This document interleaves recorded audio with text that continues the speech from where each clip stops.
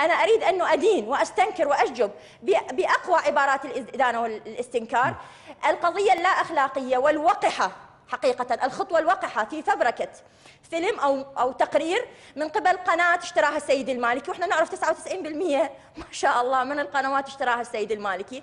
فهذه المؤسسة الإعلامية تم شرائها من قبل الحزب الحاكم ويديرها آه، علي الموسوي هذا موجود الآن على كل المواقع والقاص وداني يعرف هذه الحقيقة. وللأسف خضعت ابتزت واشتروها ب- بأموال الحزب الحاكم. أموال الشعب العراقي والحزب الحاكم من الأموال. أموال الشعب العراقي نعم. وبالتالي خضعت لأجنداته. ففبركت مل- ملف أنا أقول فبركت ملف.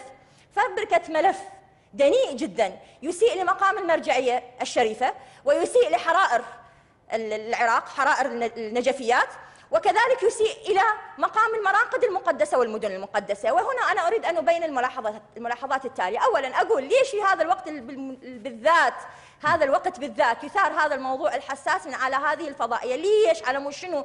على مود الولاية الثالثة، لأن انتقدكم المرجع سماحة الشيخ بشير النجفي، لأن حرم انتخاب السيد المالكي، لا تفبركوا له ملف، إيه لأن ما تقدرون تستبعدوا من خلال المفوضية ال- ال- ال- ال- غير مستقلة للانتخابات، بالتالي تفبركوا له ملف لل- للعلم هذا أول ملف لأن البارحة أنا شفت في شريط الإخباري على نفس الفضائية على نفس الفضائية إنه إلقاء القبض على زائر باكستاني. زائر باكستاني.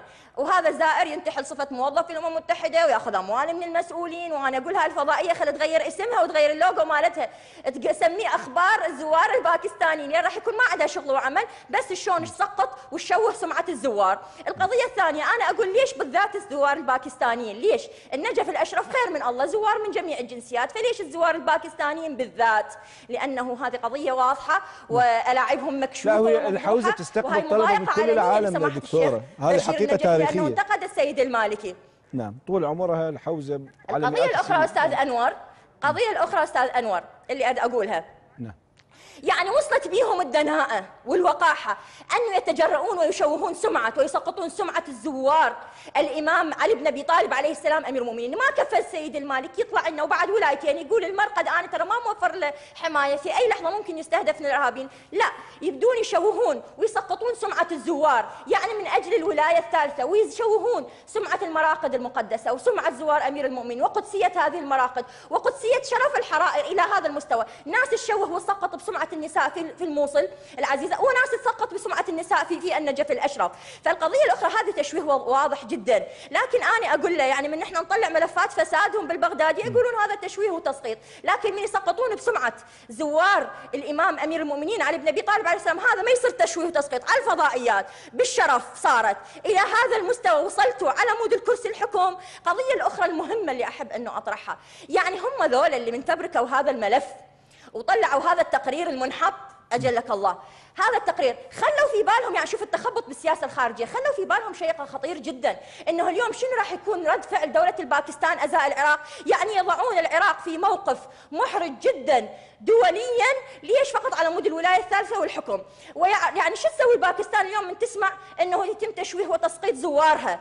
شو تسوي باكستان من تسمع هاي القضية المثارة عليهم؟ من حقها اليوم تطرح احتجاجات للامم المتحدة ومجلس الأمن وغيرها وبالتالي ممكن حتى تنفرض علينا عقوبات. خلوا هذا الموضوع ببالهم لو بعد خلاص عموا صم عمي بكم فهم لا يفقهون. فلهم إنهم كالأنعام بل أضل سبيلا. كل اللي يهتمون به شلون الكرسي الحكم شلون الولايه الثالثه يا أخي أنت شنو اللي سويت؟ النابي ولايتين تريد ولاية ثالثة. زين أنت إذا حريص أنا هاي أقولها وخلي يسمعني الشعب العراقي وخلي يسمعني العالم. اليوم اذا أنت حريص على سمعة العراقيات يا أخي مو جبنا لك تقرير مو أنا بنفسي دزيت لك تقرير مو أنا كاتبته كاتبة الإدعاء العام العراقي.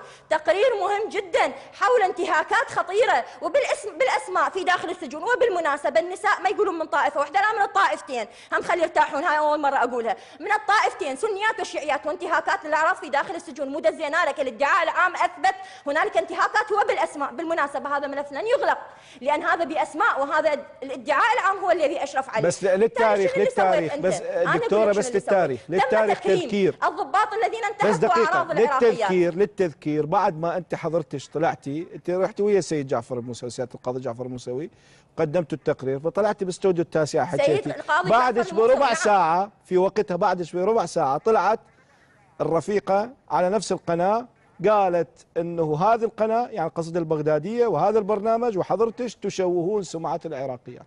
إذا تتذكرين يعني للتاريخ نذكر. الرفيقة حنان هذا اللي حكت طبقتها. على نفس القناة الآن تدشون. إحنا اولا إيه. دزينا ملف إحنا دزينا ملف دزينا ملف. سري وشخصي ويفتح بالذات لكن هسه من يشوه سمعة العراقيات؟ سمعة الزوار سمعة المناطق المقدسة المدن المقدسة. زين أنت ليش رايح للنجف تدور مو أنا انطيتك صورة الضابط أبو كركوشة. تتذكروه هذا لا تنسوا الضابط أبو كركوشة. وانطيتك إياها؟ قلت لك روح دور بالخضراء شوف إيش يصير. ملتهين بالليالي الحمراء وعارفين الشعب يتفجر. وبدال ما هاي قلت له قلت له على أنا الدكتورة مها الدوري. اليوم هذا ملفك يمي. روح أنت بدال لواء صرت فريق. حتى لو ماكو درجة أنت فريق. وبالتالي ملفك يمي. هذا اليوم النور المالكي هذا كان- كان رتبته فريق، اللواء وصار فريق؟ الشعب أو يقصف مدن. هذا إيش راح يسوي ابو كركوشه كان. رتبته لواء وصار فريق؟ القضية الأخرى اللي أريد أطرحها. أبو كركوشه رتبته صار فريق. فريق؟ صار فريق. كان لواء وصار؟ فريق. كرمه كرمه. مو إحنا يا فاسد نقول له عليه. فريق؟ نقول له عليه كرمه. اي ما شاء الله. فريق نعم فريق بدون منصب. هماتين لأن ماكو مناصب فهو انطاه فريق.